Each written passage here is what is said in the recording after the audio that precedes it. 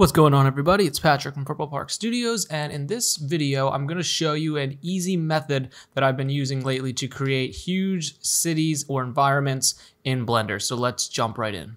Alright, so I'm here in Blender and the first thing I'm going to do is hit A, X, and delete everything. Then I'm going to hit Shift A, Mesh, and I'm going to add a plane and just scale it up a bit. So the first thing we're going to do is hit tab to go into edit mode, right click and subdivide about 10 times. Something like that should be good. Then I'm going to hit 3 for face select mode and we're just going to go ahead and start selecting a few of these faces on here.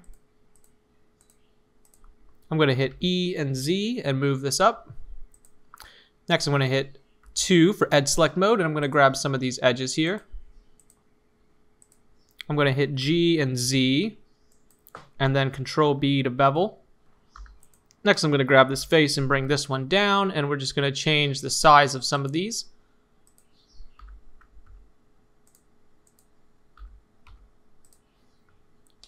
I'm going to go ahead and select a couple other uh, faces here. E and Z to pull up. I'm going to grab a couple of these faces and just scale them in, scale some out like so.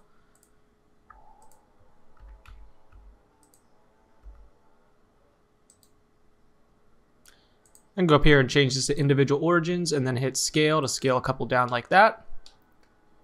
Just gonna grab a couple more faces here and we'll be ready to move on. E and Z. And then I'm gonna grab this edge here, bring that down like that. Control B to bevel. Maybe I'll grab this edge here, G and Z and pull that one up and something like that should be all right. And I'm just going to grab all these faces here that I don't need and I'm going to delete them.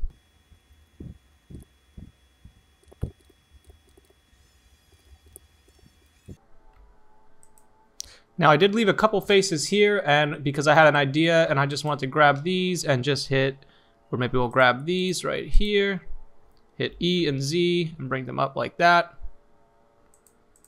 E and Z like that and just grab this like that. Something like that's kind of cool.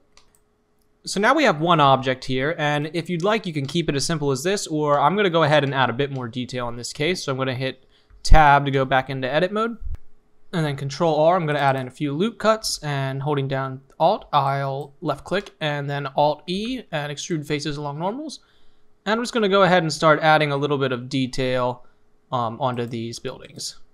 So here's something I like to do. I'll select this loop here and hit I and then inset the faces just ever so slightly like that. And then E and Z to extrude up. It just creates a little, uh, looks like a little like rail around here. From here you can hit Shift D and duplicate this face, scale it way in like that. S and Z, S and S and Y.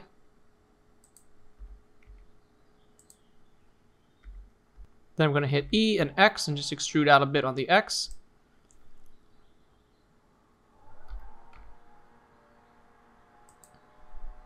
I to inset, E and X.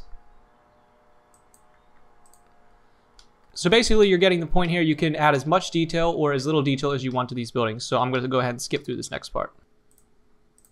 Alright, so I think for now this is good, and I might always go back in later and add some more detail, but for the sake of this tutorial, this will be fine for now. Alright, so this next step is important. I'm going to select this plane up here, and I'm going to double left click, and I'm going to rename this city instance. And I'm going to also double left click this collection and rename this to city instance as well.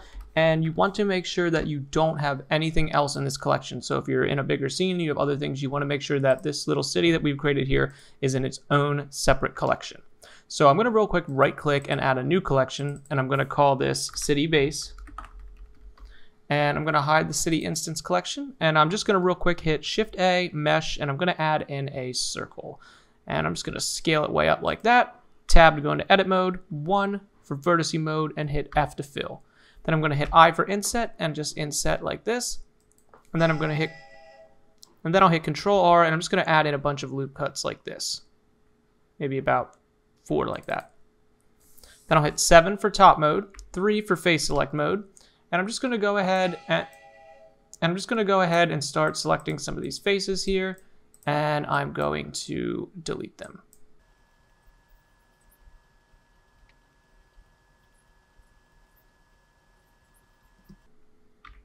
So now I've got something like this, and I'm just going to tap back into edit mode, grab this middle face here, inset one more time, hit E and Z, and then I'm going to scale that like this, add a couple loop cuts, Alt left click this edge loop here, Alt E, and extrude like this.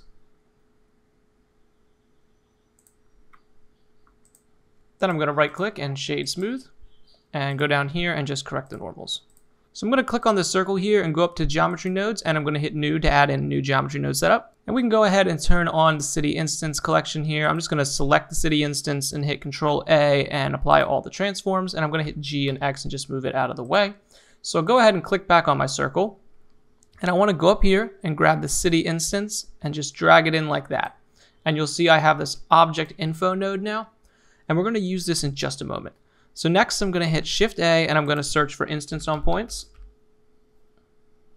We'll grab an instance on points node and drop it right in here so that the geometry is going from geometry to points and from instances to geometry like that.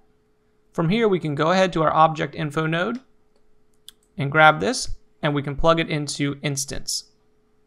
And it's going to be really big right off the bat so we can go ahead and change all these values to something like 0.01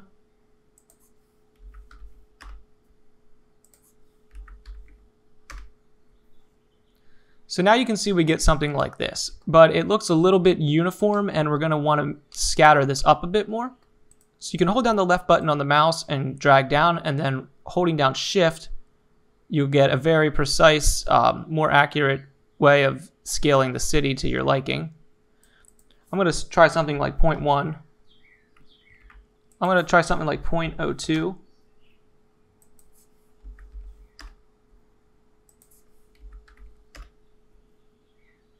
So something like that's starting to look kind of cool. So I'm going to close this object info node by left clicking right up here. I'm going to hit shift A and I'm going to search for a random value node. I'm going to go ahead and plug the value into the scale. And once again, you'll see that it's like a huge mess. So we can go ahead and change this maximum to 0.01. And that makes everything a lot smaller again. And then from here, holding down shift and then the left mouse, we can just scroll up and down and dial something in to our liking. I'm going to try 0.02 again. So that's starting to look pretty cool. So just a couple quick tips here or notes. Um, if we select our circle, the original circle, and if I go to my modifiers tab and I just click this little icon right here, that will hide the geometry node setup. So if I want to make adjustments to the shape of the city, I can hit tab, go into edit mode. Say for example, I want to make it a little bit higher up here. I can hit G and Z, something like this. Let's grab a couple of these and bring them up like this. And now if I go to my modifier properties and turn back on geometry nodes, you'll see that the cities are extended up like this. So over here is the original city instance right here. So the cool thing is if I need more detail in my city, I can go back at any time, tap into edit mode, and say for example we don't like this building here. I can select this top face here, hit G and Z, and if you look over here, so I can make adjustments to the city at any point that I need to. So yeah, this is the way I've been using geometry nodes to make huge cities. I hope this video was helpful. If you found it helpful, don't forget to give it a like and hit that subscribe button, and I'll see you guys in the next tutorial. Thanks for watching.